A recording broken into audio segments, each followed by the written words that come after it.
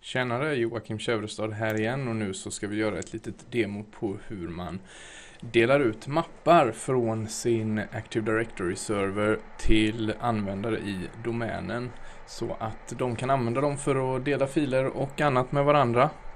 Och som förarbete då så har vi ju det förra demot i vårat Active Directory skapat lite användare och grupper. Så som en liten recap då så har vi skapat en regelgrupp och det är den gruppen vi kommer att använda för att sätta rättigheter på.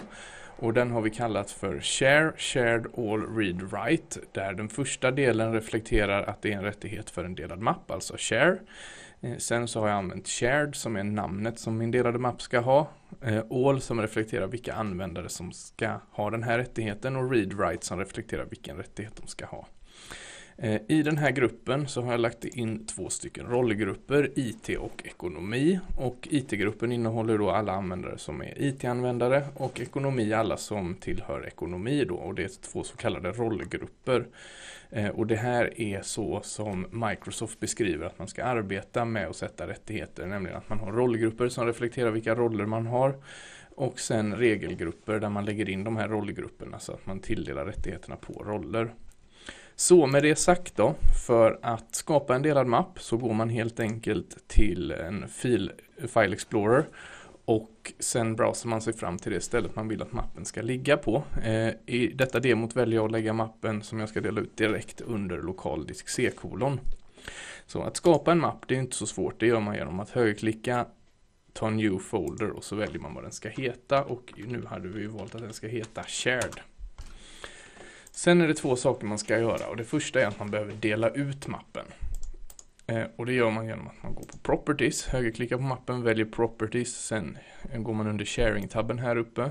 Och sen så går man på Advanced Sharing, väljer Shared This Folder och så får man välja ett Shared Name, det är vilket namn mappen ska ha på nätverket. Sen behöver man även ställa in permissions då. Och det här är det första stället man ställer in permissions på. Eh, vi kommer även ställa in andra rättigheter sen. De rättigheterna vi ställer in här, de kallar vi för sharing permissions. Och eh, sen så kommer vi ställa in mer eh, mer tydliga rättigheter och det kallas för NTFS-rättigheter. Och det funkar så här då att du kan med säkerhet utan att behöva oroa dig för något sätta full control för everyone här. Att du som share-rättigheter ger alla möjliga användare full control.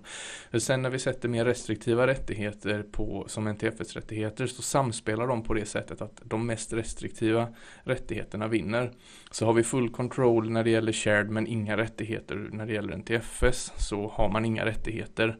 På samma sätt då om en användare har full control här som shared permissions genom att vi sätter full control for everyone och sen så har den kanske läsrättigheter via NTFs permissions, då har den i effekt då läsrättigheter. Så mitt råd är att alltid sätta full control for, for everyone här under sharing permissions. Då tar vi apply, OK, apply, OK och sen till slut då close och så har vi delat den här mappen.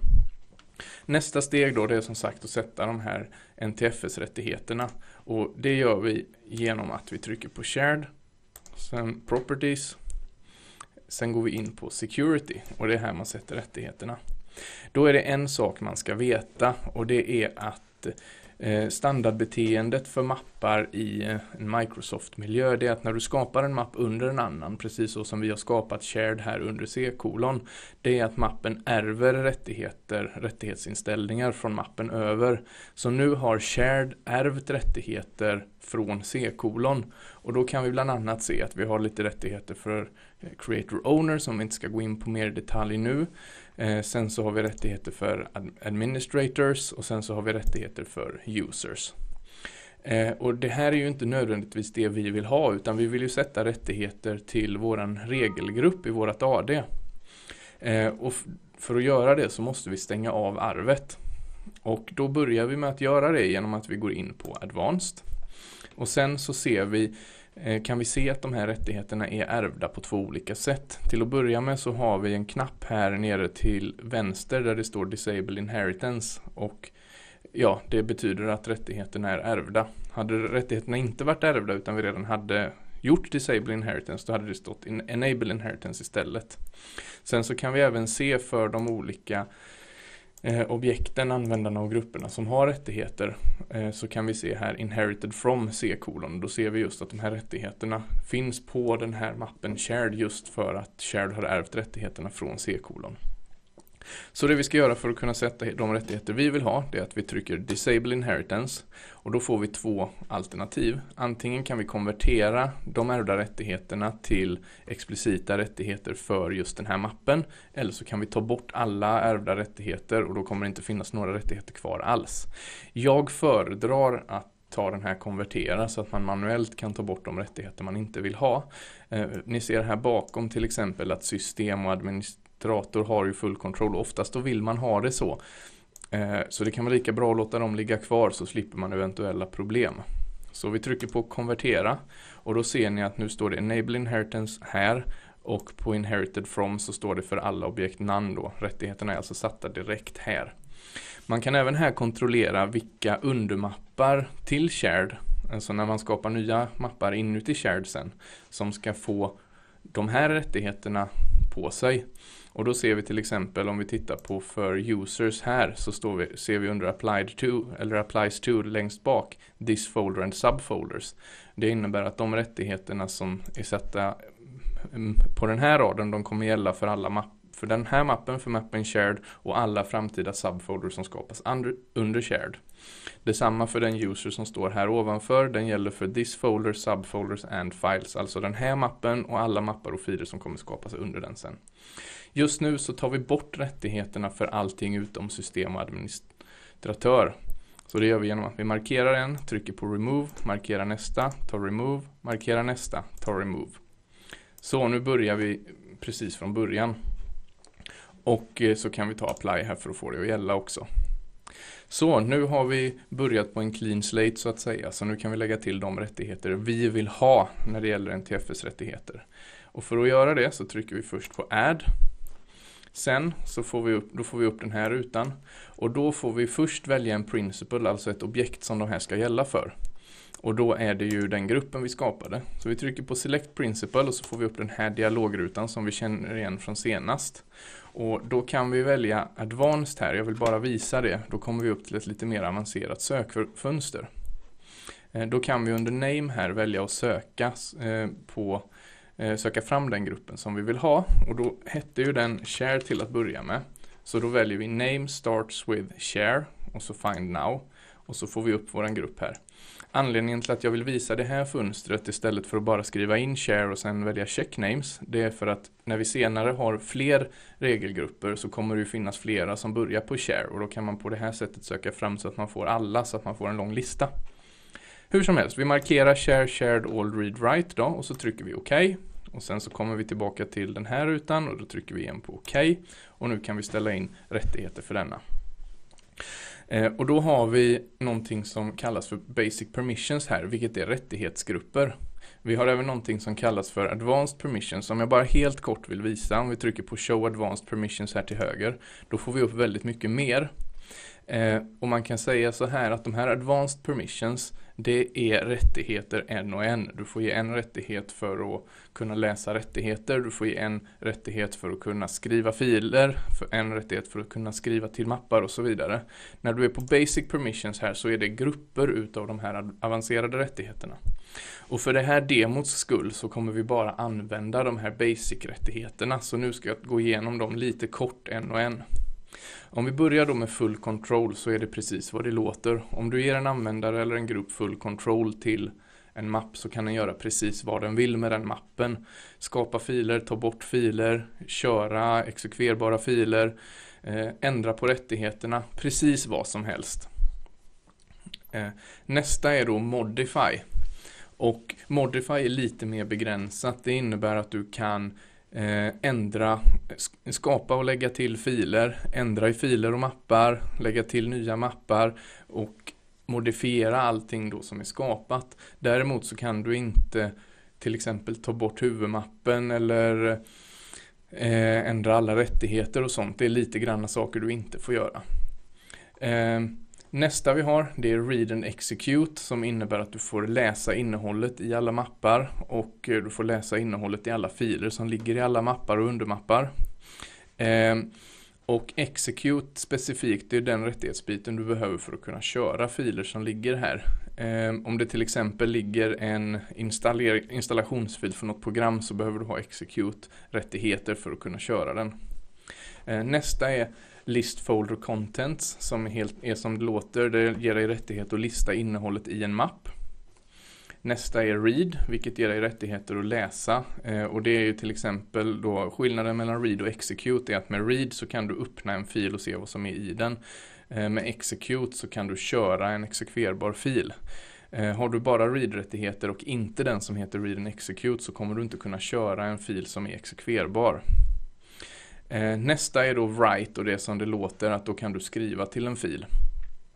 Så med read kan vi säga att då kan du läsa en fil som någon annan har skapat men ska du kunna skapa egna filer eller ändra i filer så behöver du även ha write-rättigheten. Eh, nu var ju tanken att vi skulle ge read och write till alla användare i vårt system. Så då tar vi och kryssar i write här. Och sen så vill jag bara visa applies to här. Här kan vi kontrollera hur de här rättigheterna kommer ärvas. Och om vi trycker på den pilen här så kan vi välja att de ska gälla bara för den här mappen. Och då är det för den här mappen och för alltså de filerna som skapas i den mappen. Eh, nej det är det inte, det är bara för mappen. Eh, nästa är den this folder, subfolder and files. Då kommer det gälla för denna mappen alla mappar som skapas i den här mappen och alla filer som skapas i den här mappen eller undermappar. This folder and subfolders kommer appliceras för den här mappen och alla mappar som skapas i den. This folder and files kommer gälla för den här mappen och alla filer som skapas i den. Eh, du kan även välja Subfolders and Files Only. Då kommer rättigheterna inte gälla för den här mappen, alltså inte för Shared. Men däremot så kommer den gälla för mappar som skapas i Shared. Och för alla filer som skapas i Shared. Och sen så Subfolders Only. Då gäller det enbart för alla mappar som skapas i Shared. Files Only bara för filer som skapas i Shared. Nu vill vi att det ska ärvas ner till både subfolders och filer och vi vill att det ska gälla för den här mappen också så därför tar vi this folder, subfolders and files. Och sen så väljer vi OK. Och sen så väljer vi apply och sen så väljer vi OK. Och så till sist då OK.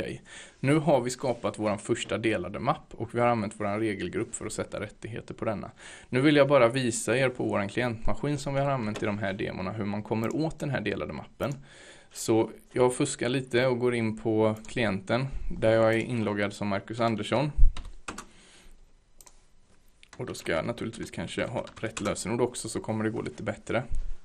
Eh, och då kan ni öppna en File Explorer och sen högst upp här i sökfältet så skriver ni backslash backslash och IP-adressen till servern. Och så trycker ni på Enter. Och då ser ni att Shared dyker upp här. Och Shared kan man gå in i och sen så kan, man, kan ju då Marcus skapa nya objekt så som han vill. En ny mapp, han kan även skapa en ny fil. Och sen så kan en annan användare då på domänen logga in på den här datorn eller på en annan dator och ha tillgång till samma saker eftersom att alla användare har read och write-rättigheter till den här mappen. Så det var allt som jag tänkte gå igenom. Någonting som jag dock rekommenderar att ni gör det är att ni tar och kikar närmare på hur NTFS-rättigheterna fungerar i detalj och att ni provar med lite olika rättighetsinställningar. Men bara för att repetera så vill jag att vi tar det hela vägen med en helt ny mapp då. Så då tar vi oss tillbaka till servern. Och nu ska vi göra en mapp som IT är ansvariga för, där IT har läs och skrivrättigheter men där alla användare får gå in och titta. Så för, det första steget då, det är att vi skapar nya regelgrupper. Så vi går in i Active Directory Users and Computers, vi går in i vårt OU regelgrupper och sen så trycker vi på de här två gubbarna för att skapa en ny grupp. Det här kommer ju också handla om en share. Så därför börjar vi med att skriva in share som, som namn för vår grupp. Sen så ska vi kalla den här delningen för IT. Och sen vilka eller vilken grupp rättigheterna ska gälla för då. Då börjar vi med IT och de ska ju ha fullständiga rättigheter. Så därför väljer jag full control som jag förkortar FC. Och så tar jag OK. Sen så ska vi göra en regelgrupp till som gör att alla andra kan läsa innehållet. Och då så går vi på vårt regel-OU. Jag högerklickar på det denna gången. Tar New. Och så grupp. Och den då, den ska ju heta Share. Den ska heta IT Och sen så ska den heta, nu kan vi välja, antingen kallar vi den för all eftersom det gäller alla andra användare. Eller så kallar vi den för ekonomi som är den enda andra gruppen som vi har i våran domän. Och sen så skulle det vara read så därför skriver vi read. Och så trycker vi OK. Eh, nu ska vi lägga till användare i dessa då, så då dubbelklickar vi först på Shared IT IT Full Control, ta Members och sen så har vi vår rollgrupp IT så den lägger vi till här. IT, check names, OK, apply, OK. Sen så tar vi och gör samma för eh, Share IT Ekonomi Read, men där lägger vi ju till vår ekonomigrupp istället.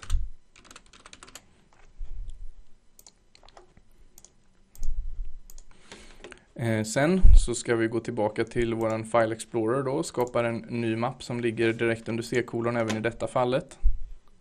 Denna gången kallar vi den för IT. Tycker ni att jag kör på för fort så får ni pausa när ni inte hänger med. Vi högerklickar på vår nya mapp, tar Properties, Sharing, Advanced Sharing, Share this folder och så väljer vi att kalla den IT.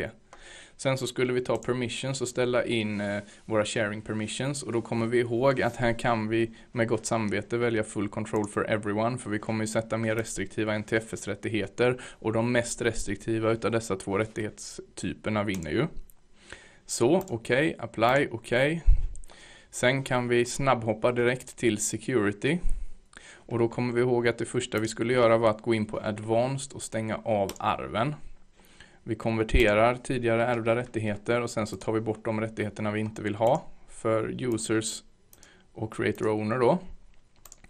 Sen så är det dags att börja lägga till rättigheter igen och då trycker vi på add select the principle och då väljer vi en av våra grupper. Då får vi gå in på advanced och så kan vi söka på share find now och då ser ni att nu får vi några fler då börjar vi med att ställa in rättigheterna för IT. Då har vi våran share IT IT full control. Okej. Okay. Okej. Okay. Och sen så hade vi sagt att IT skulle ha full control över den här. Så då kryssar vi full control och då ser ni att alla andra rättigheter kryssas i automatiskt. Och vi vill gärna att dessa rättigheterna också ska ärvas till alla undermappar och filer. Så vi väljer att applicera rättigheterna till denna mappen, subfolders and files och så trycker vi OK. Eh, nu har vi lagt till rättigheterna för IT-gruppen då. Och sen så ska vi lägga till IT eh, rättigheterna för alla andra användare. Så då trycker vi på Add igen. Selector Principle. Advanced. Och så har vi Share eh, förmarkerat åt oss. Find Now. Och då är den här Share IT Ekonomi Read som vi har kvar. Eh, Okej. Okay okej okay, och sen ska vi välja vilka rättigheter. Och jag tycker standardrättigheterna ser rätt bra ut. Man kan ju diskutera huruvida vi ska låta dem exekvera filer eller inte. Men jag tycker vi gör det. Och vi kör samma arv. Och så trycker vi OK. Apply. OK. Och nu när vi har gjort det här så vill jag innan jag visar att man faktiskt kan komma åt den här visa er den stora vinsten med att använda de här regelgrupperna. För om vi går tillbaka till vårt Active Directory så ser vi att nu börjar vi få lite regler i, vårat, eh, i våran domän. Men bara genom att öppna OUT regelgrupper så får vi en tydlig överblick över vilka rättigheter vi har. Så vi går snabbt tillbaka till klienten bara för att avslutningsvis visa att även denna har dykt upp. Så om vi eh, går in på klienten, öppnar en File Explorer, högst upp i sökfältet så skriver vi backslash backslash IP-adressen till servern som i, om ni har följt demon, demona slaviskt, är 10.209.5.100 och så trycker vi en. Bra, Tack så mycket, det var allt för mig.